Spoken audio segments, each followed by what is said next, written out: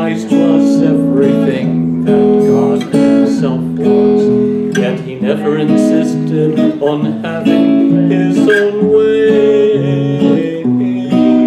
He had every right of God himself, and yet he gave him up, he freely gave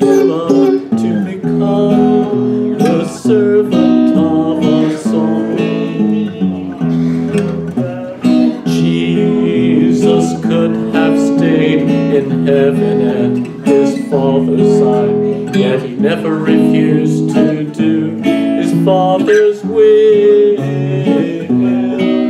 So he humbled himself and became a man, and such a life he lived, and such a death he died, to become the servant of us all.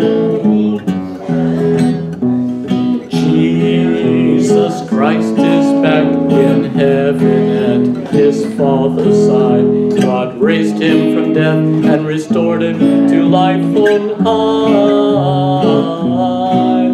So when the name of Christ is heard, every knee shall bow and every tongue confess that Jesus lives as Lord of us all. Yes, Jesus Christ is Lord